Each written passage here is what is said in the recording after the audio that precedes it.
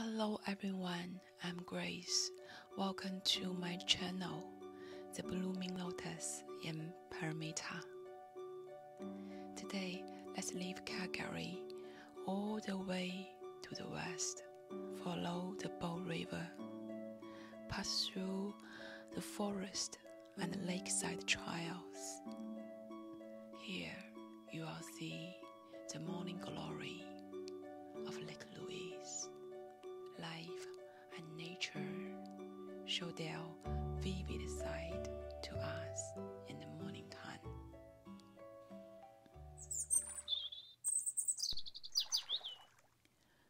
Find a nice and comfortable spot. Sit down. Choose a posture that you like.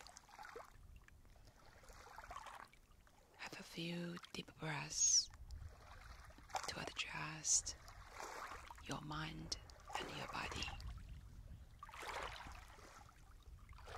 Before today's meditation, I would like to say something about envy and jealous.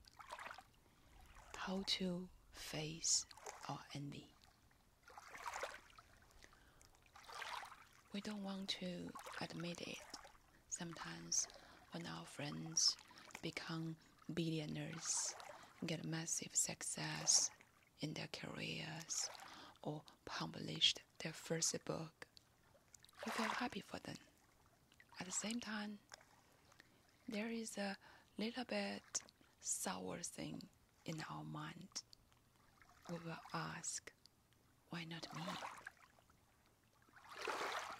I remember that when I was a teenager, my little cousin, who was 10 years younger than me, came to our house and lived with me and my parents for a while. I surprisingly found that my parents were so friendly to him and never yelled at him, although he was pretty naughty. When I was at his age, the way my parents treated me were totally different. So I asked my mom why it was not me, why you never treat me in such a nice, kind, and patient way. Unfortunately, she could not give me an answer. Don't you think that we won't ask such silly questions when we grow up? When I was 20 years old and practicing law in China, I would envy my colleagues who made big money or a female friend who married a good guy, etc.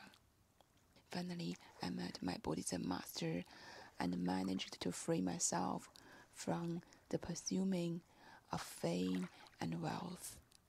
I started my Buddhism cultivation but I found that at the same time I started to attach to the Buddhism cultivation, merits, and virtue. I want to be a unique person in Dharma practice. I want to have adequate opportunities to build my merits and virtue. And I want to be recognized in this respect when I saw people attained a special realm. Time to time, my heart feel a little bit sour. That voice come back to me again. Why not me? I understand that envy or jealousy is not a healthy emotion. But as a female, I tend to believe that this is a part of my nature, so I never pay much attention to it. But before I get here, when I was walking on the lakeside trail, while the water was cold and the air smelled of pine wood, Suddenly, I felt so appreciated that I could escape from regular life and war. At the same time, I also realized that at this moment, my happiness, my appreciation, just like the pine wood smile in the air. I can tell people, I can send them pictures and videos, they won't fully understand me.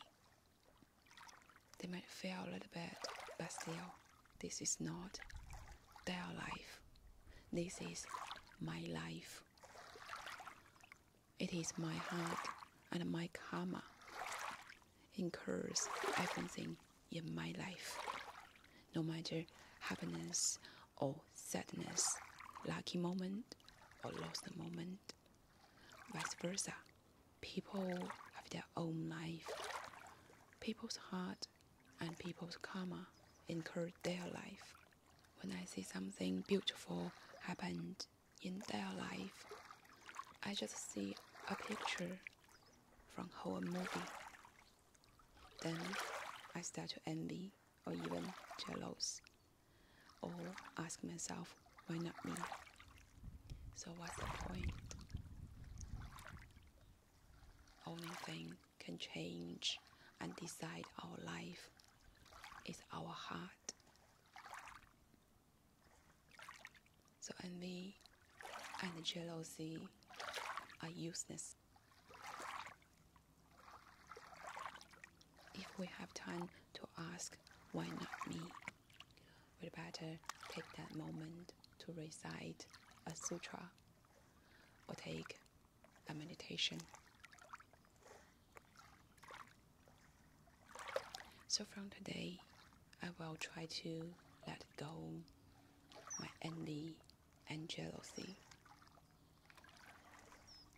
Go back to my deep inside world to see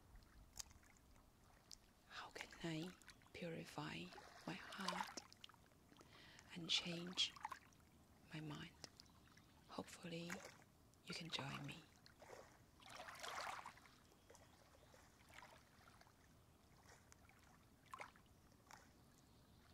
Let's start our meditation today.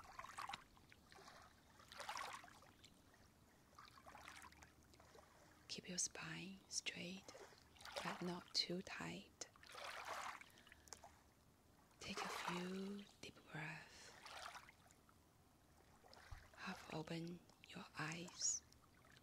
Gently look at the lake. I can see the smile in your face.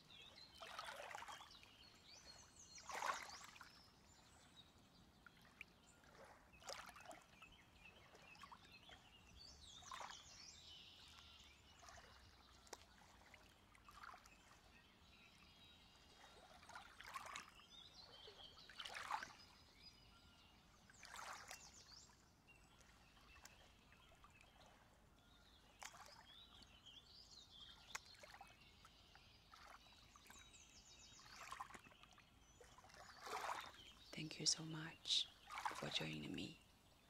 Embrace. I see you next week.